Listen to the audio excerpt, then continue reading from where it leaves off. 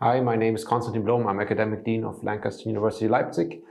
And of course, supply chain management is the topic of our time, and we hope that you will find an interest in the program.